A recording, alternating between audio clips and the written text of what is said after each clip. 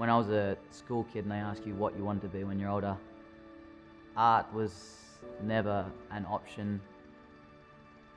Not that I didn't enjoy being creative or going that down that line, it's just I didn't think it was a viable career. I'd always enjoyed metalwork. I'd loved drawing. I took a gap year at uni and I thought I'll just give this a crack.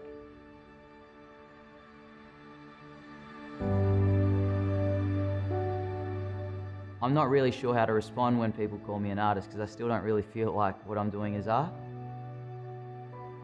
I make stuff just because I feel I don't drawn to making things, but I guess I leave that up to other people to determine if it's art or if it's not.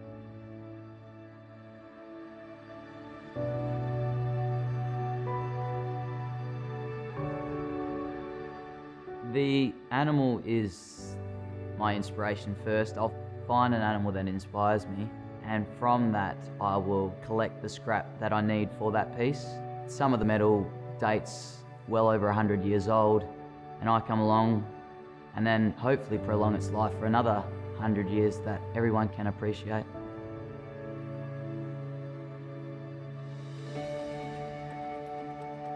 You can really capture an animal through the eyes. I think the eyes are the gateway to the soul of anything. But as soon as you also capture movement in the animal, you can capture the form, the personality, the character, the whole piece will come alive.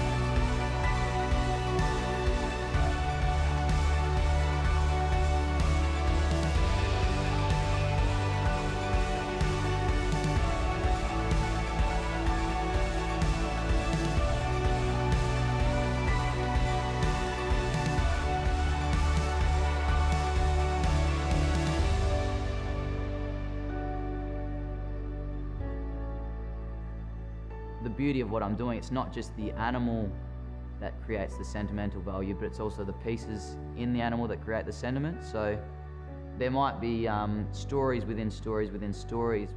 Hopefully, there's a bit for everyone in uh, the works I do, and I mean, if it brings a smile to their face as well, I mean, that's a bonus, and what more could you ask for?